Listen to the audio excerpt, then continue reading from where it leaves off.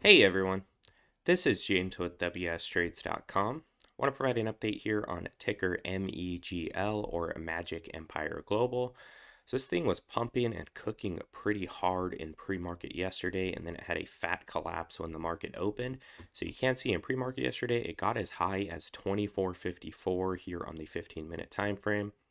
Had a pretty good pullback made another little run here right up to market open. So I was actually trading around the $22 mark um, when the market opened yesterday.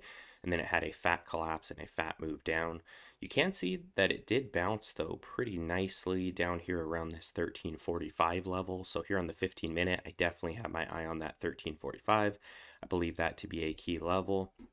Um, also up here, you see good rejection um, around 1480 or so.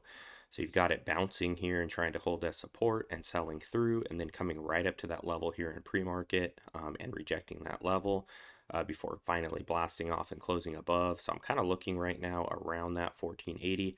I think on the 15 minute time frame here, if the sellers can get it below that level and close it below that level, um, here on the 15 minute, then it's going to come down here and challenge these areas around 1347, maybe around 1350.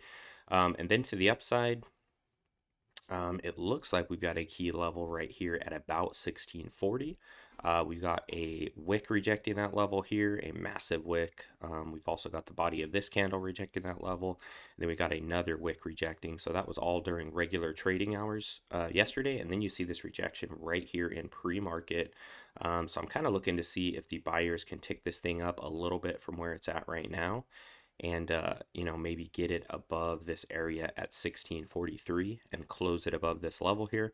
Um, I think if the buyers can pump it and close it above this 1643 on the 15 minute time frame, then it's going to come up here and challenge this area at about um, 1779 or so. So are some key prices I'm looking at on the 15 minute time frame for ticker MEGL or Magic Empire Global. Please like this video Please also subscribe to the channel if you're not subscribed. Hit that notification bell. Appreciate you for taking the time to watch this. Talk to you soon.